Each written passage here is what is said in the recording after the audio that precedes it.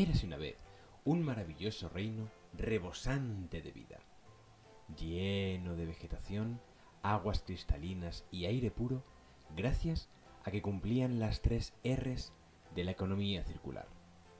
Reciclar, reducir y reutilizar.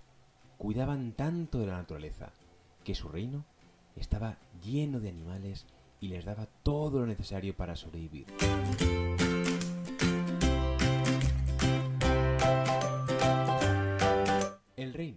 Como todos los reinos, contaba con un mago que trabajaba por el bien de todos los habitantes.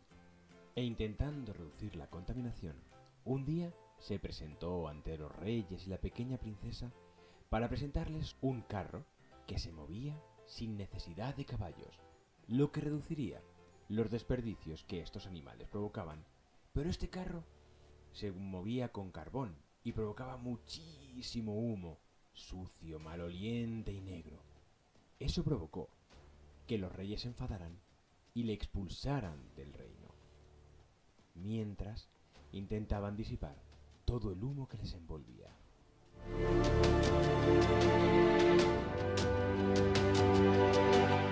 El mago, lleno de ira, lanzó una maldición contra el reino desde su refugio, y así, un día, apareció arena en una parte del reino, y esta arena se fue extendiendo cada vez más y más, devorando todo a su paso. Agua, vegetación, colinas, todo, hasta que llegó a la capital del reino. La arena era ardiente y calurosa. Estaba transformando el reino en un desierto. La ciudad aguantó un poco gracias a sus murallas, pero poco a poco la arena fue cubriendo también la capital del reino y engullendo a todos sus habitantes. A todos excepto a la princesa, que se encaramó a lo más alto de la más alta torre y desde ahí observó que todo el reino estaba cubierto de arena. Se preguntó qué había pasado, cómo podía haber llegado a esta situación, así que, sin dudar, se propuso investigar qué ocurría, y así, utilizando la arena, bajó de la torre y se puso a atravesar el desierto para buscar la causa de tanto sufrimiento a su reino. Anduvo días y días y días por el desierto hasta los confines de su reino, tratando de averiguar cuál era la causa de esa desertificación tan excepcional.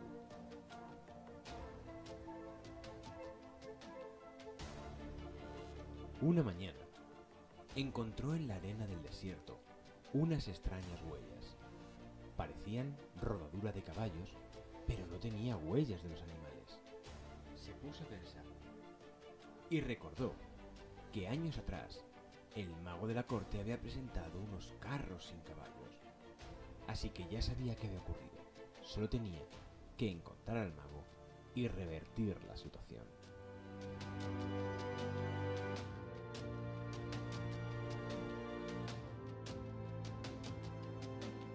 Mientras esto ocurría, el mago en su guarida no paraba de toser, enfermo después de tantos años de respirar el humo que provocaban sus carros sin caballos al quemar todo el carbón que sacaba de las minas. Un día, la princesa encontró al mago que estaba tosiendo y tosiendo. Le dijo que cómo podía haber hecho eso a su reino, a lo que el mago contestó que habían sido incapaces de reconocer lo buenos que sus carros. Y ella le dijo, ¿buenos? Tú has visto cómo estás, si apenas puedes respirar y no creo que puedas vivir mucho más. El mago se dio cuenta que la princesa tenía razón. Creó un hechizo para destruir sus carros autónomos y retirar el desierto del reino de sus padres.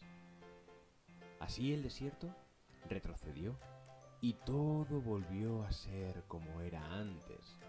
Los huertos volvieron a brotar, la hierba volvió a crecer, los árboles florecieron y los ríos se llenaron de nuevo de agua, haciendo que la gente pudiera salir de nuevo del castillo. La princesa tomó al mago de la mano y le llevó a su castillo para explicar todo lo sucedido a sus padres y ver qué había cambiado. Los reyes perdonaron al mago y le volvieron a aceptar en el castillo, con la condición de que a partir de ese momento siempre trabajara por el bien de la naturaleza y que no volviera a inventar nada que pudiera perjudicarlos a ellos y a su reino.